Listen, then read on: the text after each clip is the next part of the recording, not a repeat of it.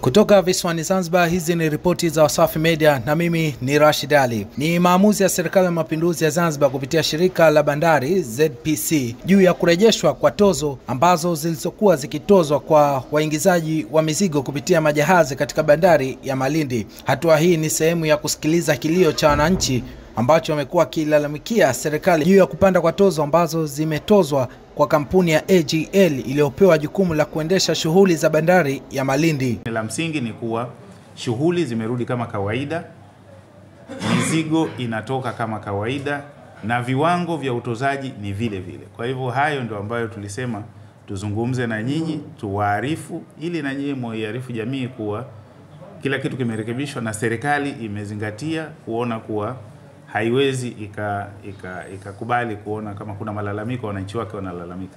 Kwa hivyo hicho ndicho ambacho kimefanyika, kuwa baada ya malalamiko yote yale serikali imesikia na maamuzi yameshatoka, na wawekezaji pia wameshaambiwa kuwa tunafuata viwango vilivyokuwepo, tutakwenda navyo hivyo mpaka huko baadaye ambako tutakaa pamoja kuzungumza na kuangalia ni jinsi gani ya kuweza kwenda mbele. Jaribu correct. Tukija katika utaratibu wa kawaida ile kinachotakiwa kufanya is exactly kile walichokifanya wao.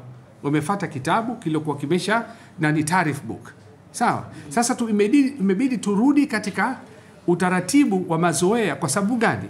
Kuna mtu ameshaleta mzigo, mfano kaleta nyanya, kaleta nini, viazi, kaleta vitu kama hivi, ameshapanga kwamba hivi vitu katika soko itakuwa kiasi fulani. Kwa kulitizama hilo, tukarudisha tukawaomba wenzetu turudi katika utaratibu wa kawaida, ili kwa sababu kuliweka sawa, ushaona.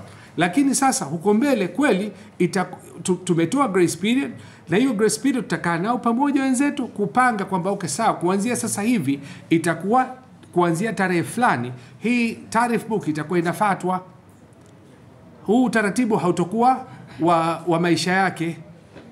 Kwa hilo tunaomba niliweke sawa. Siwe, wale watu waliokuwa kwa sasa hivi kikanuni, watu watakaosema lini tunaanza implementation ni sisi, tutakaa nao hawa nani anaitwaje, um, hawa uh, tuliowapa hii bandari AGL sawa sawa, au ZMT sasa hivi, lakini kwa utaratibu wangu siwezi nikawapangia wao lini mwanze ku, ku, ku, ku implement hii, badali wao ndio waliotoa siku ambayo tunasubirisha tuna huu mchakato mzima ku, wa kuimplement hii. Bei, bei iliyokuwa imeshakubaliwa lakini haitumiki.